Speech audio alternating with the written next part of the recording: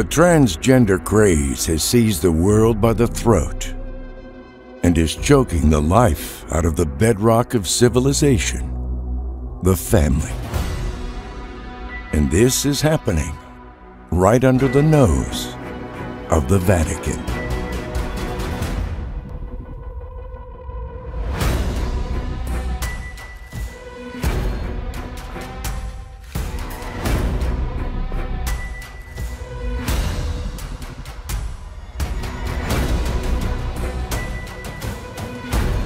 The largest Catholic healthcare system in the United States is performing sex change operations, abortions, and prescribing contraceptives. And it's doing this with a Catholic identity provided directly by the Vatican. A new report by the Lepanto Institute, CommonSpirit and the Sex Change Industry, provides clear evidence of all of this and much more.